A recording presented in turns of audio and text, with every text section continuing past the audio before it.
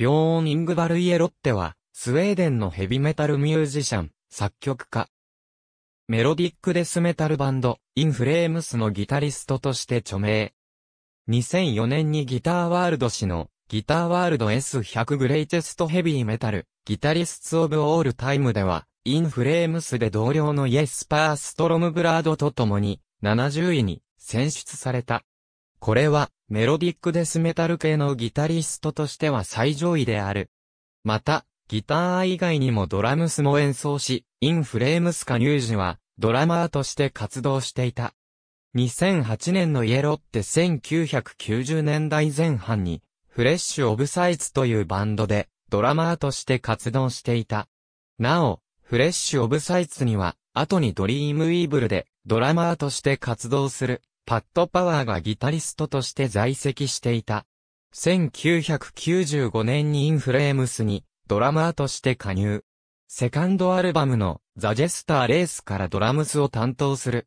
1998年にギタリストのニクラス・エンゲリンが脱退するとギターに転向する。もともとギターが本職であったという。この転向でインフレームスにはダニエル・スベンソンがドラマーとして加入している。以降、インフレームスのギタリストとして知名度を上げていく。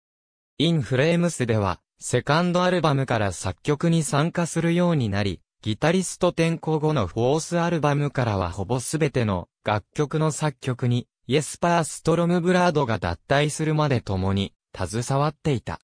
イエスパー脱退後は、ビョーンとアンダースで作曲を行っている。また、サイドプロジェクトとしてオールエンズにも、イエスパーと共に携わっていた。もともとは、ギタリストとして在籍していたが、インフレームスでの活動が忙しくなり、現在は作曲のみの参加となっている。また、同プロジェクトには実妹であるエマ・イエロッテも、ボーカリストとして参加していた。2010年には、オーストラリアのエレクトロニックミュージックバンド、ペンデュラムの楽曲、 Self vs Self にインフレームスの同僚、アンダース・フリーデン、ピーター・イワースと共に参加し、ビョーンはギターと作曲を行った。ミュージシャンとしての活動以外にも、レコーディングエンジニアとしても活動しており、ストックホルム出身のメロディックデスメタルバンド、デグレーデッドのファーストアルバム、 Til Death Do Us Apart では、ミキシングを担当した。前述のエマ以外に実弟に、ジョン・イエロッテがいる。ジョンは、ソースというメロディックデスメタルバンドで、ドラマーとして活動しており、ファーストアルバム、レフトアローンは、輸入版に、帯、ライナーノーツを付けた形式で、日本版もリリースされている。また、ビョーンは、スタートレック、トスト、アメリカ合衆国のロックバンド、CKY の熱烈なファンとしても知られている。ただし、セカンド、サードアルバムともにリードギターや、アコースティックギターを一部で担当していることが、クレジットされている。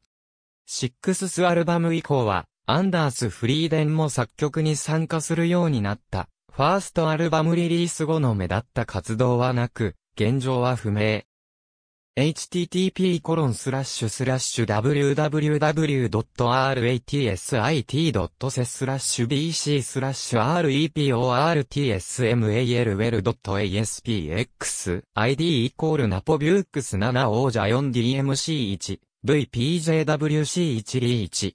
ゼフェデゲーレーブブシグクスパク 8http コロンスラッシュスラッシュ www.roadrunerrecords.com スラッシュ blabbrmouth.net スラッシュニュース .aspx モードイコールアーティクルニュースイティマドイコール18446コロニーライナーノーツよりありがとうございます。